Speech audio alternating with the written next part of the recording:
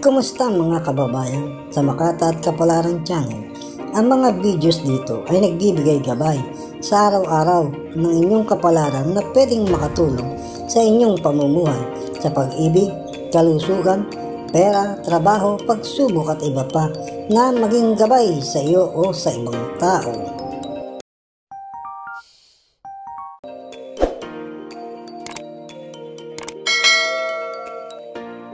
Aquarius, ikaw ang may lakas na magpapaganda ng isang re- relasyon ng pag-ibig. Kung lagi kang mahinahon, pero kung lagi kang mainit, galit, lagi walang magtatagal na karelasyon. Sa huli ay magsasawa sa iyo dahil sa init ng ulo mo.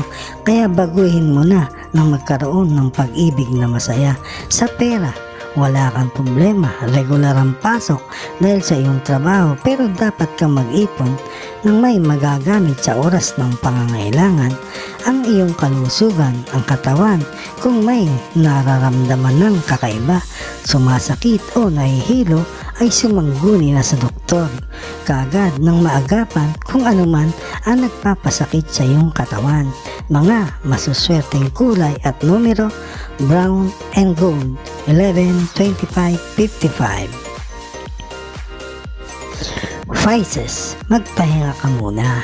Huwag puro trabaho o magbakasyon kahit ilang araw nang mas lumakas ang katawan at ang enerhiya na nangihina ay mapalitan ng bagong paglakas.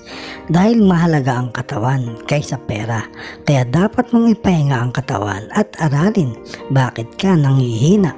Para pagkonsulta mo sa doktor ay may masasabi kang marami at sa pag-ibig lagi dapat kayo masaya. Dahil isa yun na magbibigay sa iyo ng kalusugan ng paglakas at nagbibigay sa inyo ng swerte para magdatingan ang mga pera at magiging maginhawa ang buhay. Ingatan ang katawan, lahat ay ayon sa iyong gabay ngayong araw na umiikot na buwan.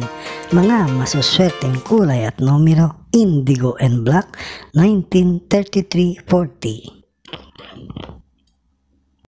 Mga kababayan, salamat sa inyong panunod. Bukas pong muli sa ilalabas na video ng Makata at Kapalaran Channel na ayon sa mga galaw ng araw, buwan, mga bituin, hangin, tubig, ulap at lupa na nagbibigay gabay sa kapalaran ng tao, iliwanag, ikapalaran.